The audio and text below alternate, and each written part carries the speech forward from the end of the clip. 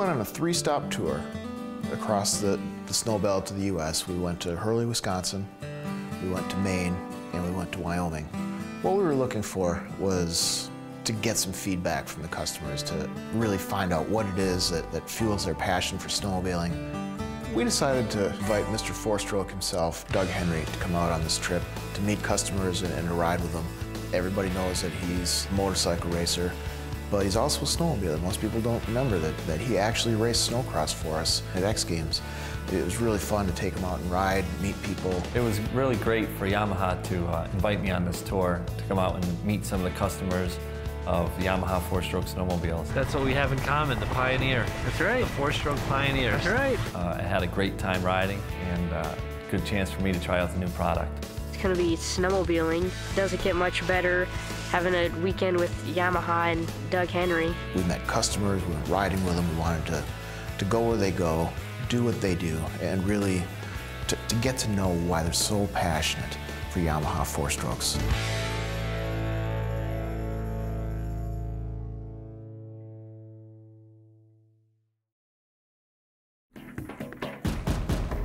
Coming into 2012, Yamaha is celebrating its 10th year of making high-performance four-stroke motors. It all started with the 2003 RX-1. And you still see those original RX-1s riding the trails today.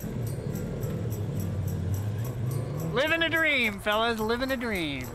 My nickname is Evil Santa. I'm pretty well known in the area. They see the big blue one come flying by and they know it's me.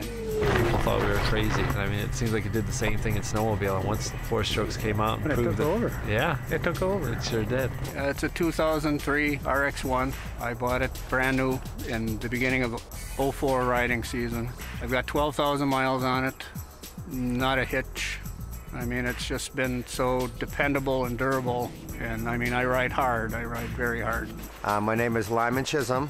I ride an RX-1 03. I was I rode that for four years. I put 18,000 miles on that sled. No worries. Still turnkey rideable today. I really think that was a game changer for the whole industry. The power of it was unbelievable. It was just such a linear pull. It was almost like you would think of how could they actually put this much power into a snowmobile.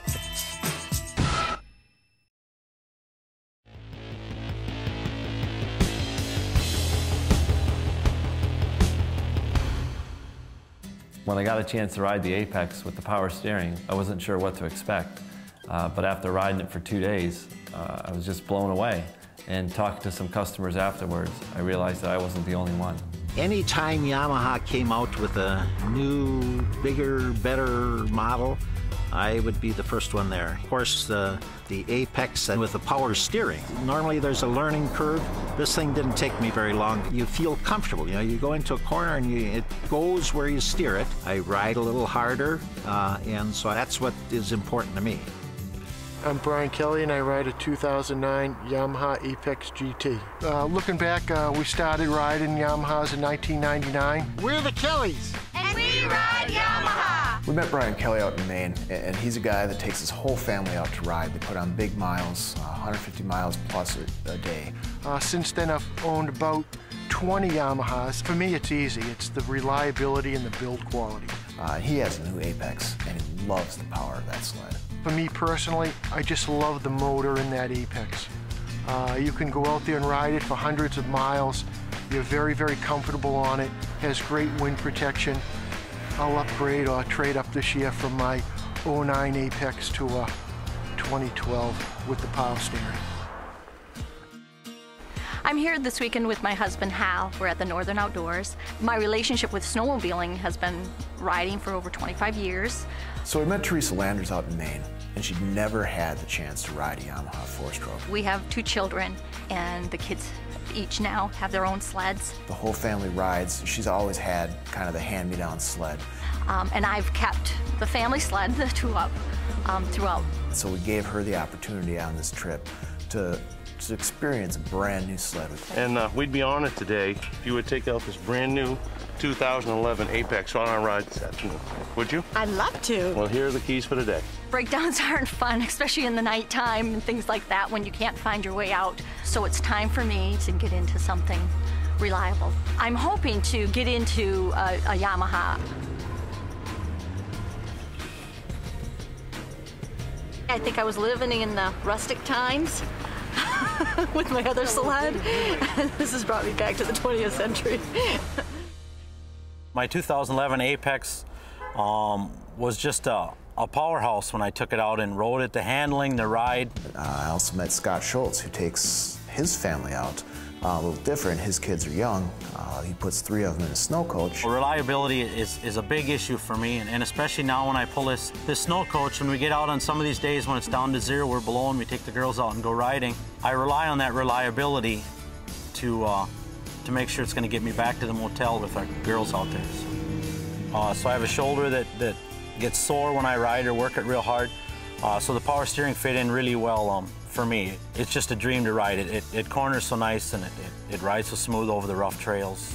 The, um, the reliability, uh, the resale value, fuel economy uh, was just unbelievable. It far past my expectation. So we met a lot of customers who really loved the 2011 Apexes, and the media really loved it as well. It won the Sled of the Year award. We won Best New Technology for the electric power steering system. Uh, and the good news is that the Apex is going to move forward in 2012 uh, with its power steering, with its 163 horsepower engine. It'll be available in the SE package with the all-air suspension, base model, as well as the, the XTX version with the 144-inch rear suspension. It'll come in a 10th anniversary special color and graphics, as well as a beautiful electric blue color and graphic package.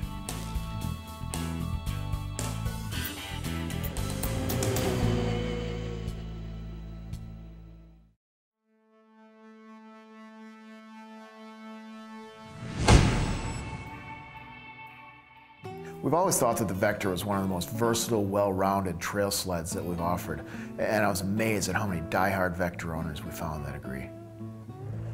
My name is Gary Landry. I ride a 2010 Yamaha RS Vector. So we met a really loyal Vector owner, Gary Landry, out east.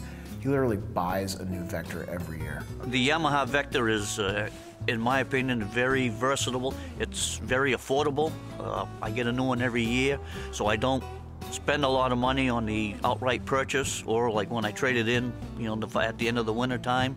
Uh, the motor is very sweet. I mean, it's probably one of the best engines I've ever had in all the years of recreational vehicles. I mean, it's it's a smaller engine, but it has a tremendous punch. I mean, you can go riding with anybody, with any other snowmobile, and you're not lacking behind. It's very well versatile. So when you think about an extreme snowmobiler, you don't usually picture a Vector owner. But Nick Keller is an extreme snowmobiler. I live in Richmond, Minnesota. Right now I'm averaging over 300 plus miles a day and I drive a uh, 010 RS Vector GT. After I got into heavy sledding and I like distance driving, so I started getting into the four strokes. When you're putting on uh, 200 plus miles a day, it's a big deal buying gas. So quality of the machine and uh, durability of it. I bought a different brand and it was too heavy. So in 08 I switched to Yamaha and I'm truly in love with it. So when we were up in Maine, we met Megan Kelly, and she's been around snowmobiling all her life, and she just absolutely loves trail riding on her Vector. I started when I was a little kid. I was probably like two or three. We would get towed behind snowmobiles when we were little in sleds, so we started at a young age, yeah. Um, I ride a Vector, black with chrome windshield. It's really nice. Um, I like the open trails, the ones that you can just go straight, go fast. But it's something when you snowmobile at a young age, you can take it with you. I'll snowmobile when I'm an adult. Yeah, this year they came out with the fuel-injected models, and it's uh, really been a tremendous engine improvement. I mean, the performance is there. It, it pulls tremendously hard, uh, accelerates coming out of the corners. It just picks up and goes.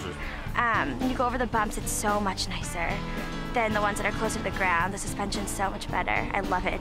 It really swayed me over on the high mileage, and uh, like I said, it's just a great ride. People ask how I can sit on a machine for that many miles. I said the sled speaks for itself. So with all those happy Vector owners out there, there's only one question that remains. When does Vector get electric power steering? And I'm happy to say that this is the year.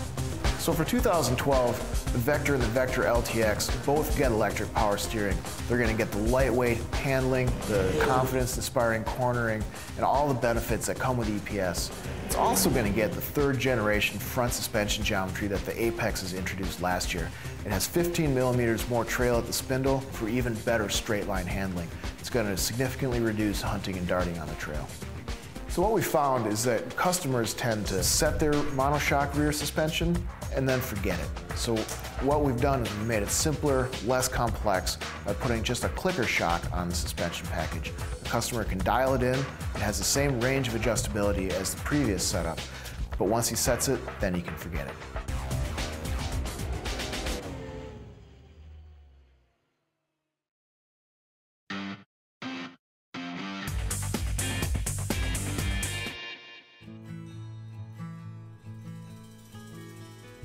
We got a chance to meet uh, Scott Schultz's wife Norma, and she loves her 05 Venture. And whenever they go trail riding as a family, she always has her daughter on the back.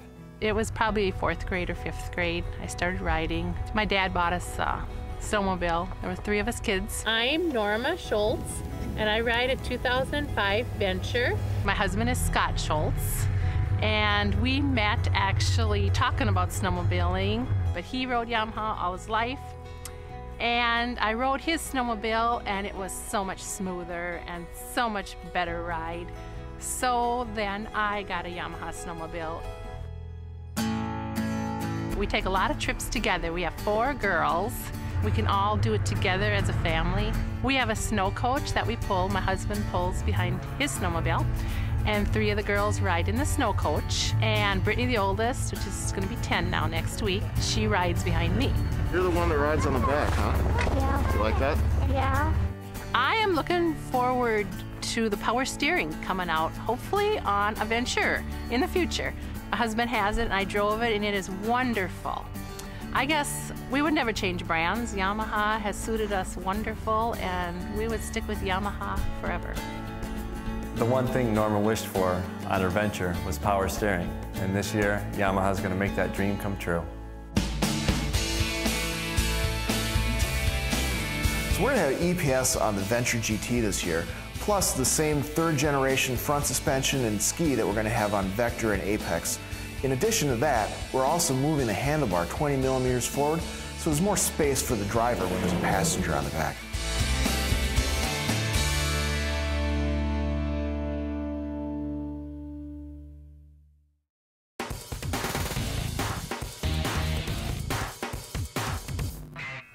Phazers our entry-level four-stroke sled.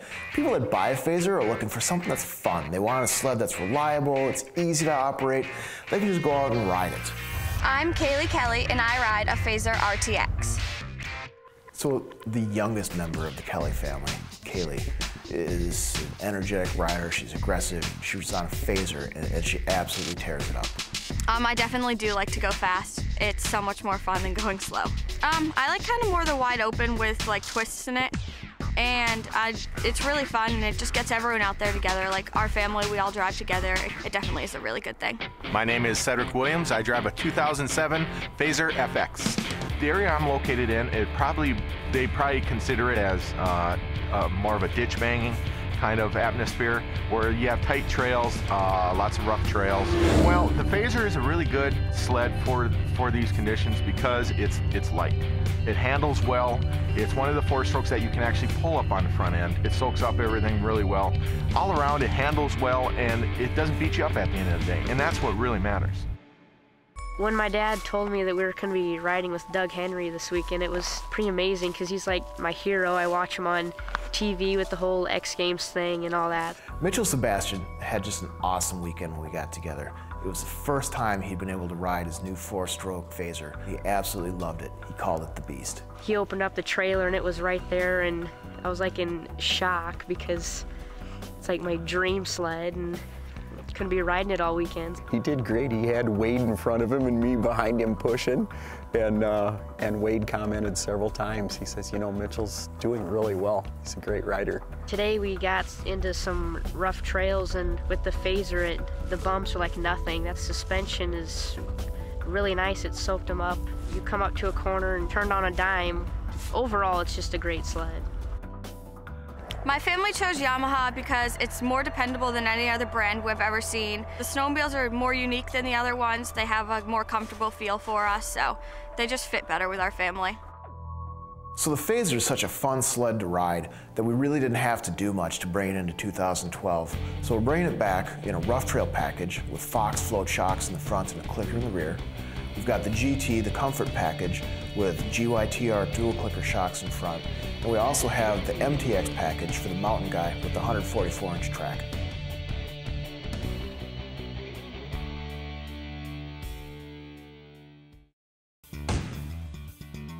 The Nytro RTX is one of my personal favorites. It's the one I have at home. And uh, this weekend I got a chance to ride with John Tomlin, a young rider who also had a Nytro. And he and I were riding through the big bumps, just having a blast. It was really tough for me just to stay with him. Uh, snowmobiling's been a part of my life, uh, 110%. It's the thing I love to do. Now I'm on a Nytro RTX. I've always been a Yamaha fan. Uh, I raced snocross for a while and go trail riding, ditch banging, and ride the bumps. The power band of the four-stroke is completely unbelievable. Uh, the suspension, it's a big bump chassis. Scott Borski, and this is my son Nick, and we're from Rhinelander, Wisconsin. You know, the Nytro has that, that excitement and, and just uh, on impulse, you can pull the skis off the ground and just go.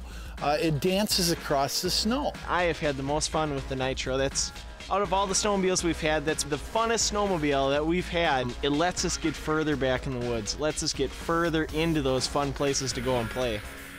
The biggest thing about Yamaha is the reliability. The last four years uh, on non-Yamaha brands, I've blown seven engines and four clutches and un untold other issues with snowmobiles. And so last year I got to the breaking point and I said, I don't want any more reliability issues. I drive a lot of miles on snowmobiles and I want uh, a sled that I can ride and depend on and, and go out and come back every day and not have to worry about it. Oh, the big thing is on my Nytro, the power and the torque, when we get into the deep snow and start climbing the mountains and start climbing the hills, you know, I've got that instant, instant throttle response where I can take off from a standing start in deep snow and that torque will just carry me right up on top of the snow and get me going.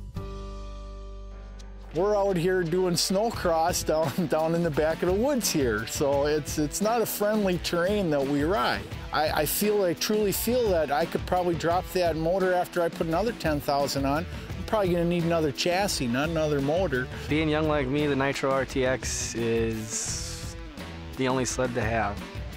So in 2012, we, have updated all three of the Nytro trail models that we have, the, the base model, the Nytro RTX, and the Nytro XTX. RTX is going to get a new track, the Ripsaw 2. When we first introduced the Ripsaw track, it revolutionized the industry. It was such a great track and so well received that our competition even picked it up and put it on their trail sleds. So what we've done with the Ripsaw 2 track is we've gone to a single ply construction and we've redesigned the lug pattern. So what a customer is going to find is he's going to be able to get in and out of the corners flat and fast. Now what Doug didn't know is that when we were in Hurley, he was actually on a 2012 spec sled with the new track and with the new ski. I knew there was something different about that thing. The thing handled so good. People are really gonna love this thing.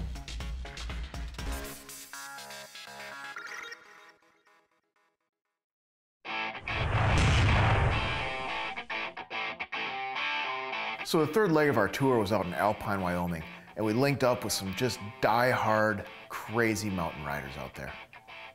We're probably one of the only groups on the mountain that you see are 100% all Yamaha sleds, but on the other hand, you don't ever see us pulling each other out, so it makes it nice at the end of the day. With the Yamaha, you can go out farther, 30 miles, and we get the fresh powder. We um, get to the open bowls, and we're always we're always shredding the fresh stuff. I just feel so much more comfortable in that kind of backcountry on a four-stroke. I'm Sue Hahn, and I ride a Nytro. Sue Hahn took her husband's Nytro MTX out for a ride and never gave it back. Well, we've always ridden Yamaha, and we've had it in our budget to get a new sled this year, so Mike had the older sled, so he decided to get the Nytro. I had a day where uh, he was gonna let me ride it, so um, it was just so much fun that it's, it's hard to go back. I don't like crowds and I don't like tracks. That's just pretty much straight up. Steve DeCenzo is a high mileage, backcountry, mountain exploring kind of guy. He gets about 5,000 miles on his Nytro MTX every year. No matter how far we have to go back, our style is get back there. 30 miles into the backcountry, Then we're hammering. When all my friends with the two strokes are constantly worried and carrying toe straps, and twice last year, two strokes blew up on me, and we rode out double on my sled. It's that reliability that brings me to Yamaha every time. We gave an opportunity to test ride one of our boosted sleds. Yes, I've ridden the turbo and the supercharger kit. In fact, just yesterday we did a side-by-side comparison. You know, the turbo is going to give you that that high-end uh, power wheeling out of stuff, hill climbing or maybe extreme deep snow. The supercharger is phenomenal for boondocking. The second you hit that throttle, that track is going. There, there's no hesitation. There's nothing. It's hard to really say one's better than the other. They're both phenomenal setups. Watching Randy Bolds ride a Nytro Mountain is amazing. He can make the sled do what he wants to do. It's just, it's a thing of beauty. And when we put him on a boosted sled, it was even better. I'm Randy Bolds, and I ride an 08 Yamaha Nytro. Uh, it gives me the capabilities to be able to uh, play through the trees, uh, make tight turns. It's got the Maverick track on it. Seems to do really well in uh, deep snow conditions, uh, specifically the push turbo. Um, seems to perform very well on the mountain. I like the power. I've been saying since the beginning when the Nytro came out that it needed to have that 40 to 60 horsepower more that is available through the push turbo. So I'm very happy with the kit and the way it's turned out. I can't wait to put one on my sled, and I can't figure out whether I want the turbo or the supercharger, but it's going to be one of them. In 2012, we're updating the Nytro Mountain segment. We're going to have the new MT9 ski. They're 1.8 pounds lighter each than the previous ski. And on the 162 version, we're going to have a new Ascent track. The new Ascent track had three primary targets when we were in development. First, it had to have great lift in the fresh powder. Second, we wanted to have excellent forward acceleration and deceleration. And third, we needed to make a track that would hold up to the extra horsepower of a boost product.